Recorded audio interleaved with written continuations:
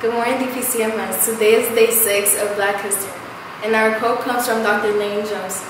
She states, Never be limited by other people's limited imaginations. How will you be limitless today? Turn and, turn and talk to your partners. Level one voice, go.